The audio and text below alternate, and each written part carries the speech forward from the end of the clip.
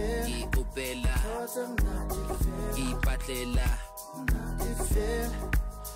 Cause I'm for real, a real good time. Kipatlela swagala neno, kikupela swagala neno, so we could just chill and feel good vibes. Kipatlela swagala neno. I've known Gabi for a very long time. I saw her years ago, and she was just bubbly, and I thought she was a bit too much. You know, on set, I, I did think you're a bit too much. But I'm like, labantwana baya pop, yabo, and she, you thought being being serious? Mm, most serious, baby. exactly, So, and bo pop, and it was cool, like because we were excited. We was over TV, or we was over excited. You know, it's nice. So did you have a crush on me? Mm, not really. I did. I liked her. I liked her, and I asked her out, and she said no. Then I was like, He was old. Come on. I was 19, he was 26. So I'm like, You Ntato. know, yeah, I think that.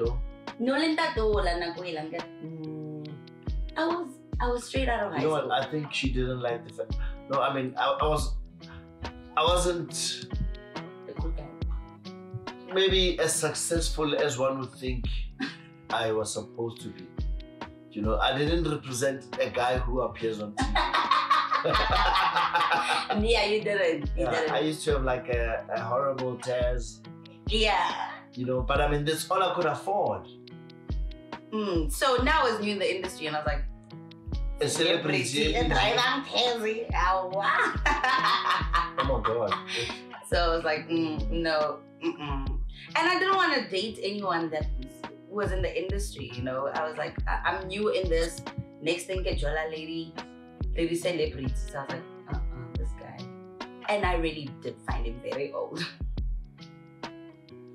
now, now he's a cool guy. he's not old anymore.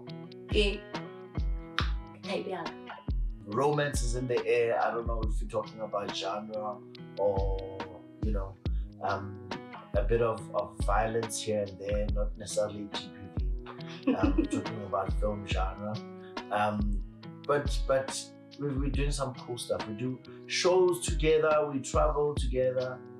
Um, you know, doing MC work and and just doing a lot Music of stuff. music stuff, gigs. It's cool. So what's cool is that I did a, I did a, uh, we MC'd a gig together, Mm. And I think our chemistry was just too much on fire.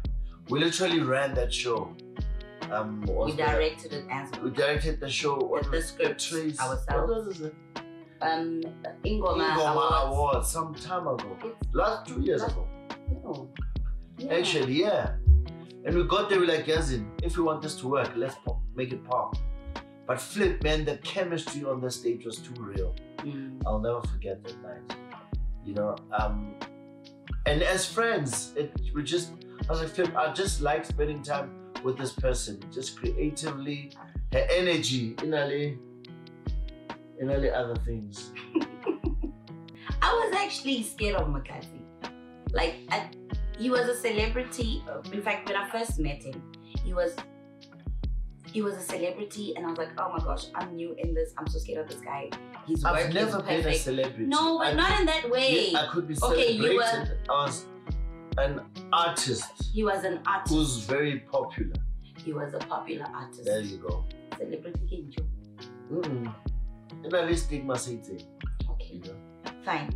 He was a popular artist, and I was just too afraid to do anything with him because I was like, oh my gosh, I can't even work with this guy. Whenever we had scenes together, I'd be so scared to buy that because I'm like, he's too good. What am I gonna do?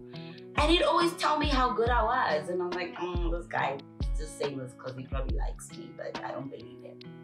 So even when we did the awards together, um, I think you called me or I called you. I found out that you are actually on the thing. Yeah. And then I called you, like, yo, we're gonna do this thing together and it's gonna be dope.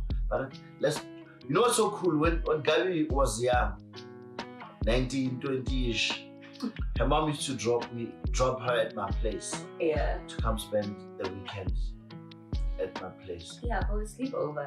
I've got a lot of plans. I'm excited about this year. um, still will be acting. I'm excited because we're gonna have um, a podcast where we're gonna be interviewing a lot of people, um, a lot of legends. We're very passionate about sending love um, to people who have done um, a lot of work in terms of creative work before. And we think they're not appreciated, so we want to talk to legends. We also want to learn, and we see we see ourselves as pioneers and producers, and we just want to find out questions that no one has ever asked them. You know, how did you get to the top? Mm. How did you come up with that? Who did you meet? How did you stay there? How did you stay at the top? You know, um, and when Gabi met me, she thought I was at the top. I was still trying to find a gap there. But I remember when you see something that's real, you must say you are hard, man. Mm. You're skillful, you're talented, and we want to plug you in. You know, um, Ronald, we didn't have that. You know, and so we want to bridge the gap. And for me, that's what excites me about the podcast. Is that we want to bridge the gap and get like on a one one-on-one experience with with with with the legends you know? There's so many of them that we want to travel around the country meet them talk to them maybe see their families and Yeah. then throw them these amazing parties. Parties. and i'm sure you'd like to check that out. Hmm um and i mean why not? And then i can spend time with gabi. Maybe she might just Might just what? i think i, I said a bit too much let's, let's not share that we are Mojabel. We're talking about the podcast.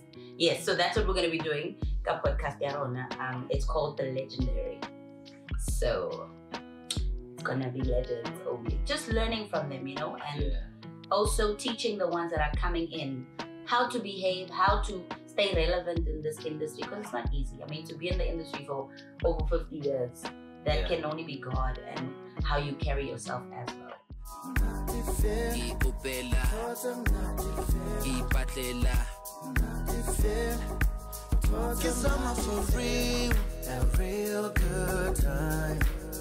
Keep a tlela, swagger like a neno. Keep kupela, swagger like a neno. So we could just chill and feel good vibes. Keep a tlela, swagger